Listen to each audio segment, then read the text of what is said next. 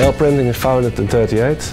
Nowadays we produce self-adhesive labels, flexible packaging and in-mold labels. Those in-mold labels we divided into three uh, different product groups. Short life, like buttercups, mid-life, products like design boxes, like the one in the back, and beer crate industry.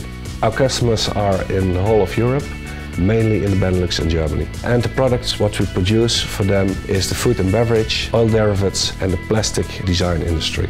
If we look to the demands on this moment in the market, also for in-mold labeling, we see that quantities are decreasing. Also, for example, we see that lots of more personalized labels are coming. For in-mold labels, for example, we made buttercups with a unique uh, QR code what customers can scan in the stores and to make sure that they have some unique products.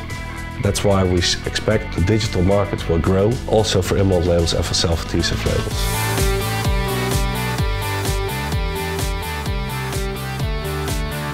Our customers demand to have shorter runs and that's what we can provide with our new Xeikon 3500.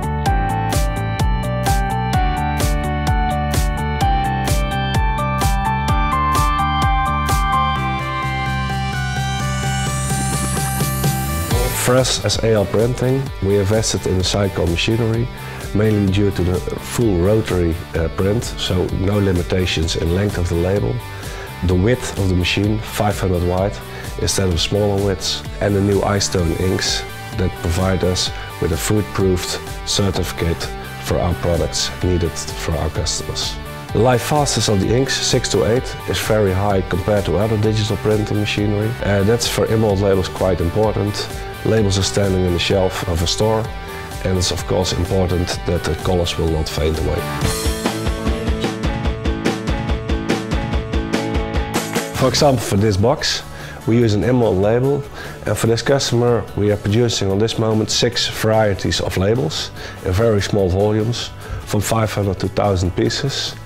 The only thing that's changing is printing file and we produce file behind file on the machine so that we don't have waste between the items. With the new Xeikon machinery, we know that we bought the best machine at this moment in the market available. And we expect that the main benefits for label printers is short runs, quick to the market, at reasonable prices. And that's why they should invest in digital printing.